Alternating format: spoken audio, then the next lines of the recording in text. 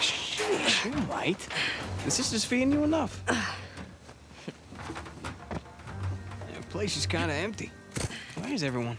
Some Bible retreat. Yeesh. I remember those.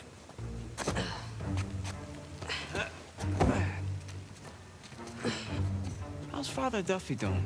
He's the one decent guy in there. You should come and say hi. Nah, I don't need the guilt.